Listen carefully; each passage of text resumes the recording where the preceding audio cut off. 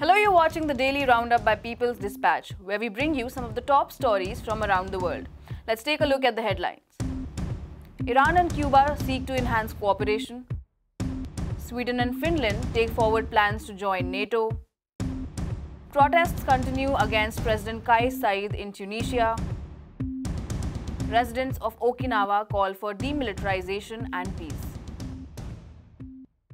Iran and Cuba are holding a joint economic summit to increase cooperation between the two countries in the sphere of political, economic, and trade relations.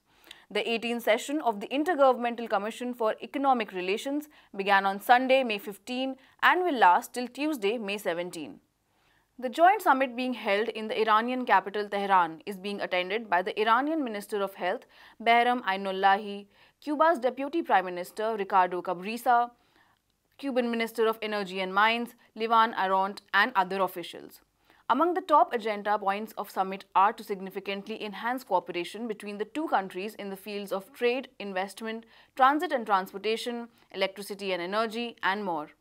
They are also expected to sign numerous joint agreements. The two countries hailed the joint vaccine production with Cuban Deputy PM Cabrisas calling the PastoCovac vaccine a mascot for Iran-Cuba ties. They also expressed hope to increase this cooperation in the medical field in the future as well as extend to other sectors. Both countries also pledged mutual political and diplomatic support to each other on the international stage. Just before the summit began, Iranian Foreign Minister Hossein Amir Abdollahian called Cuba a reliable strategic partner of Iran, while Deputy PM Cabrisas thanked Iran for its support in the face of unilateral US sanctions on Cuba. Denouncing the US sanctions on both Iran and Cuba, both countries vowed to keep improving their bilateral ties and to learn from each other's experiences to ultimately neutralize the sanctions' effect. The Nordic countries of Sweden and Finland have confirmed their intentions to join NATO in a major policy shift from decades of neutrality and military non-alignment.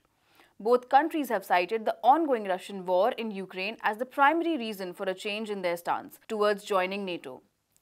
Finland's government was the first to express its intentions to join NATO with Finnish President Sauli Niinisto terming it a historic day and the opening of a new era.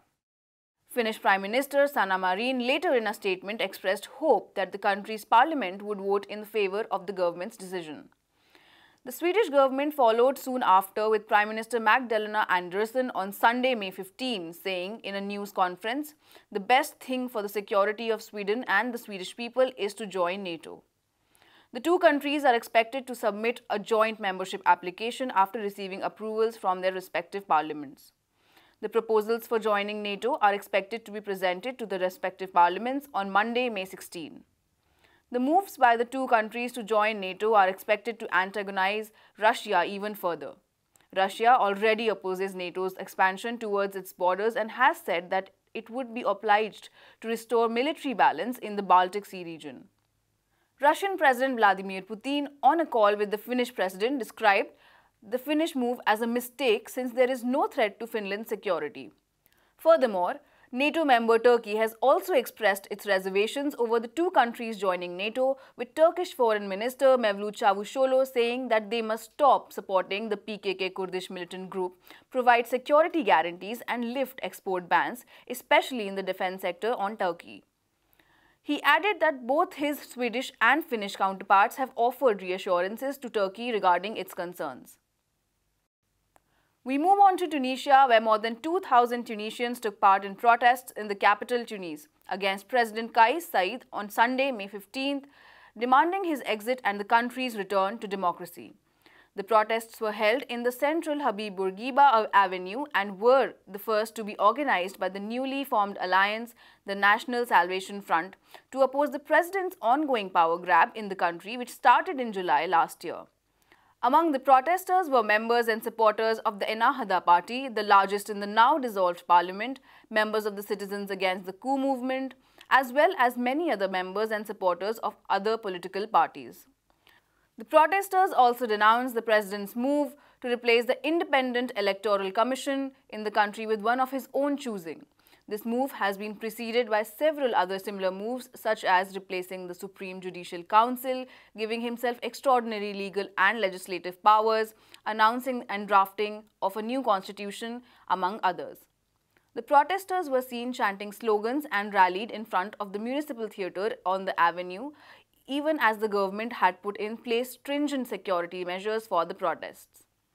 Reports noted that the deployment and security formations of a large number of security forces who were also deployed at the same entry and exit points of the avenue. Tunisia, which went through a revolution in 2011, returned to democracy has been witnessing regular protests since July last year, after the president dismissed the prime minister and the cabinet and suspended the parliament and assumed power in the country. Critics have termed these terms unconstitutional and amounting to a presidential coup. The president has continued to secure and expand his hold on power in the following months, announcing numerous other controversial decisions, leading to widespread domestic and international concern and condemnation. And finally, protests mark the 50th anniversary of Okinawa reverting back to Japanese sovereignty, which fell on Sunday, May 15. In the capital city of Naha, more than a thousand Okinawans congregated, reiterating the long-standing calls to demilitarize the island and for peace in the region. A massive march was held in the city of Ginowan that passed a major US military installations.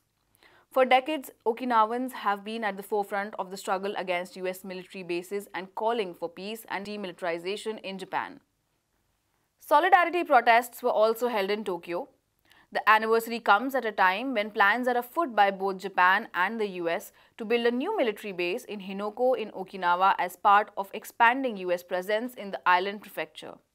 The plans for a new base in Henoko continues despite recent promises from the National Parliament to decrease and redistribute US military installation to other parts of the country.